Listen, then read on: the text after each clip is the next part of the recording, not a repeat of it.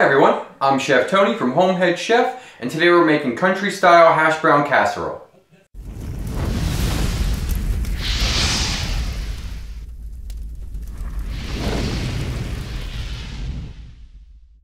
If you're not familiar with hash brown casserole, it is hash browns in a rich and creamy cheese sauce with a crispy topping. It is excellent for breakfast, lunch, or dinner, cookouts, special occasions, get-togethers, so let's get cooking. For this recipe, you're going to need one bag of shredded hash browns or diced, one pint of sour cream, two cups of cheddar cheese, one can of cream of chicken, a teaspoon of onion powder garlic powder, a stick of butter, and one cup of cornflakes. You can really customize this recipe by adding in jalapenos, bacon, or anything that you like. All right, first things we need to do is get the oven preheated to 355 degrees. Now while that's heating up, we're gonna go in with our sour cream.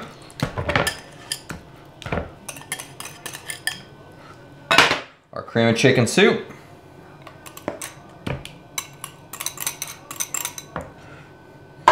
Get this nice and mixed up.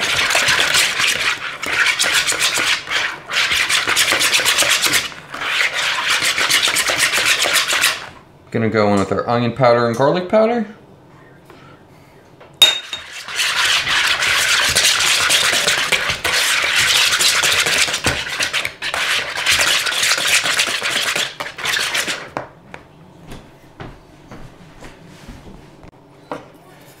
Salt and pepper.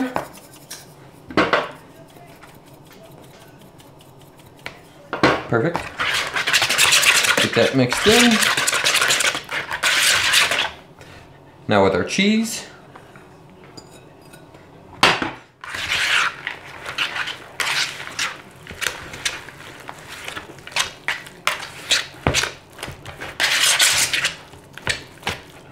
All right, with our stick of butter, we're gonna wanna butter down the casserole dish so it doesn't stick.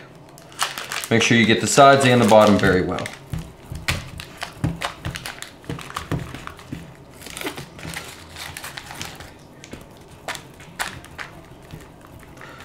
Just like that. Now we're going to want to fold in the hash browns. Now if these are from still frozen, they're gonna it's gonna take about an hour in the oven to bake. If you leave them out for a little while to thaw, it will take less time, which is what I do. Just gonna get this all incorporated and covered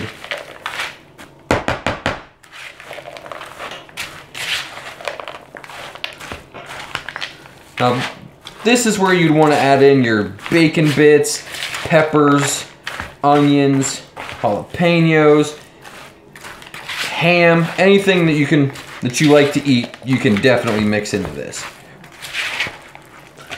And it will be amazing.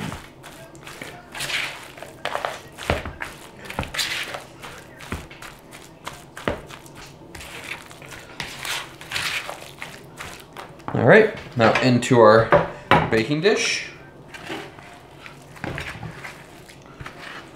I'm gonna wanna spread it evenly.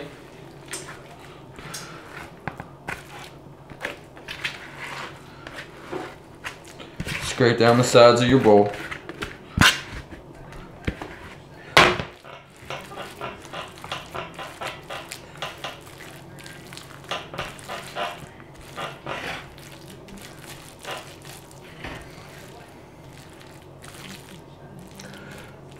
We love hash brown casserole. We have it pretty much at every cookout that we have. It's a big hit. So if you're gonna have it at a cookout, I recommend you make double. So that way you have some for the next day.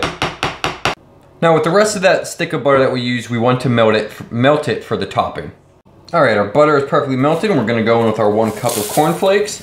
We wanna give that a mix.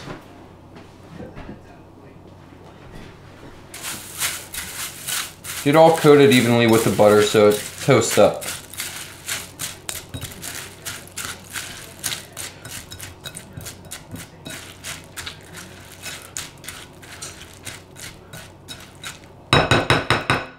All right.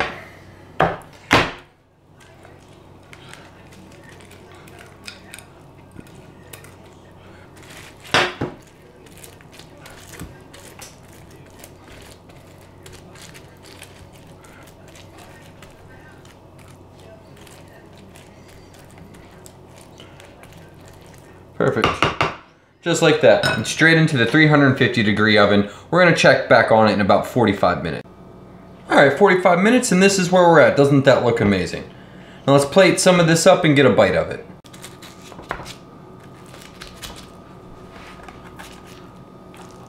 All right. Now doesn't that look great?